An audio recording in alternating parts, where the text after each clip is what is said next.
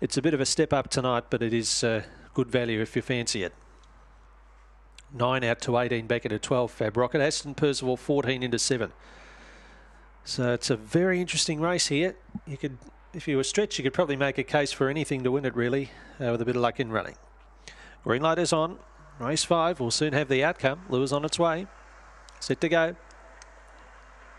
Ready, they're off and beginning fast there out in box eight was Lavish Diamond. Queen Kathleen punching through on the inside. Bernadette was going forward to the first turn. Then Fab Rocket is up to fourth and making some ground from Rizzo. Well back Cyber Crime and Aston Percival last. Lavish Diamond holds them out. Queen Kathleen can get the run on the corner. Then Bernadette and Fab Rocket winding up in the straight. Lavish Diamond's kicking strongly. Holds them all at bay. Beats Queen Kathleen second. Third placing Rizzo getting up on the inside. Fourth, maybe Bernadette a lip to Cyber Crime.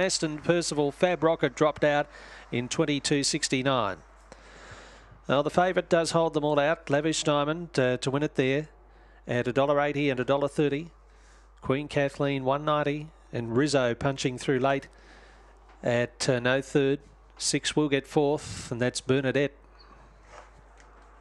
Eight, one, two, and six going into the frame here after race five. 22.72 is a good run at 8.30 the sectional.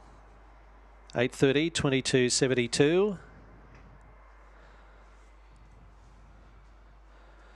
Lavish Diamond takes it out. That's two on the